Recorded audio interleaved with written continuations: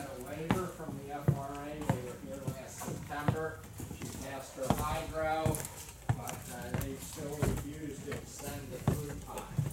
So now we have to, uh, re-flue her, and, uh, it's gonna be a job.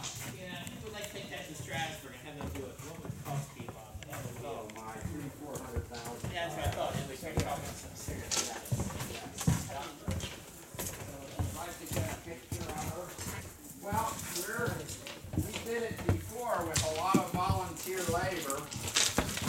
And, we raised money, uh, you know, through various selling candy bars and things of that nature. There's a lot of candy bars nowadays.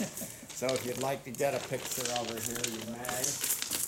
Linda's still down at the other end with the other group here. The uh, caboose that's on the end there a former Lehigh Valley northeastern style caboose. it, it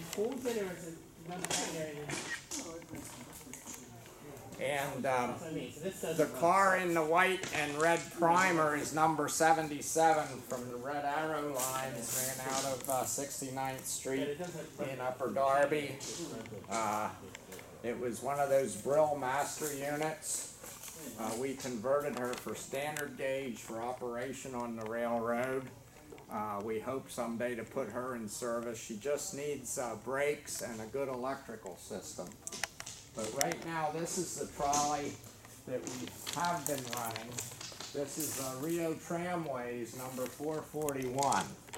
And uh, Now, when you running, when you run it? well, only on special occasions. We tried to have regular trolley runs. There used to be a little ice cream shop down here along the railroad called the Kona Cabana. And we used to take people up the street like we did with you guys so they could think they were right on a regular trolley car. And then take them down to the Kona Cabana for ice cream. But we had several days where nobody showed up. And we think it was because we were advertising it as a trolley, and the tourists in this area, they'll go to mm-hmm. Hershey, they see the Hershey oh, trolley, Oh, and they, oh, well, we already rode a oh, trolley, that it's not a real